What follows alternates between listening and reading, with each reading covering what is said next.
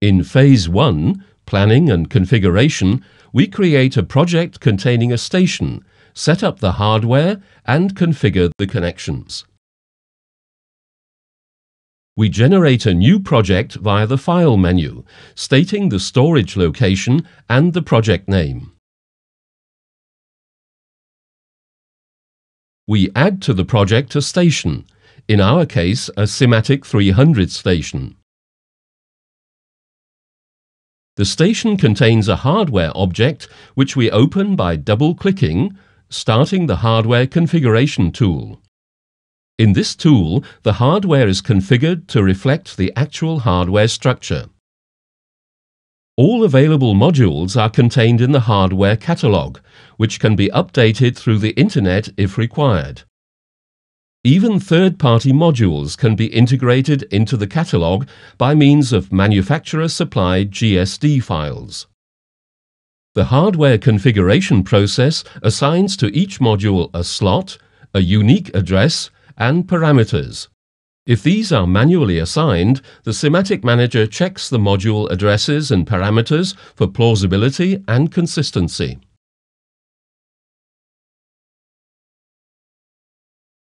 The basis of all communication within a plant or machine is a configured network.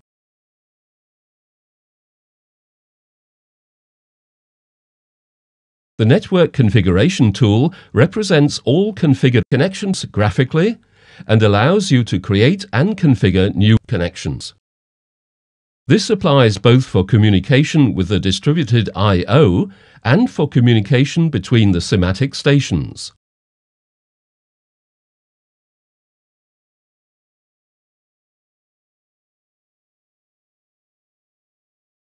In Phase 2, Implementation and Module Test, we create the symbols, develop the control program, test it for the first time module by module, and configure the visualization function.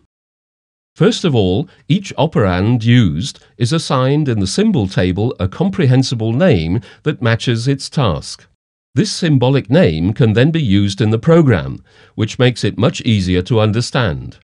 The name will also be used by the operator control and monitoring software. Furthermore, a comment can be added to each symbol to describe its task in more detail. The symbol table can be revised and updated at any time as the program evolves. The block folder contains the user program. This includes, for instance, the system data with the configuration and communication data, as well as all executable blocks containing the control program and the user data. The resulting user program is composed of the individual program blocks. You select for each block the programming language that is best suited to the task in hand. The appropriate editor is started automatically.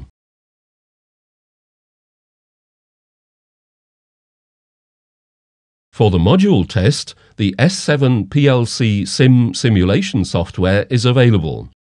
It allows you to test the user program offline without having to transfer it to the real-life plant. S7 PLC SIM simulates to a certain extent the station configured in the project. This includes, for instance, loading the user program into the CPU.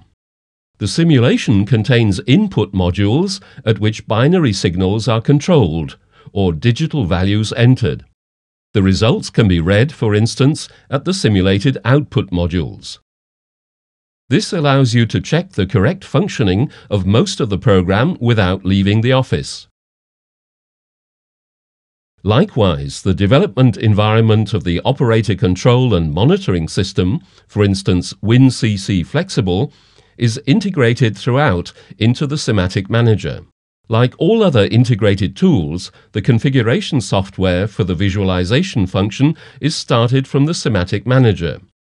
It accesses the central data pool of the SIMATIC Manager and stores its own visualization data in that pool, so that they are available for the other tools.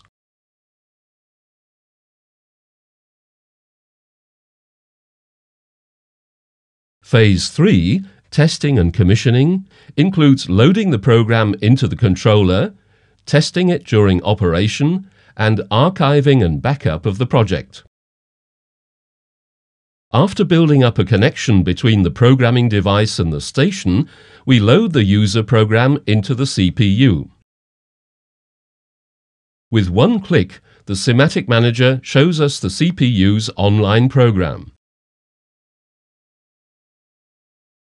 A wide range of test tools is now available for quick and comfortable monitoring and control of variables, forcing of variables, program status, single-step mode with stop points. These tools provided by the SIMATIC Manager allow you to modify the program during operation and to see immediately what impact your corrections have on it. After commissioning, but also in between to back up your data, you can compress and archive the entire project with all its programs and data. It can also be stored in the CPU in this format.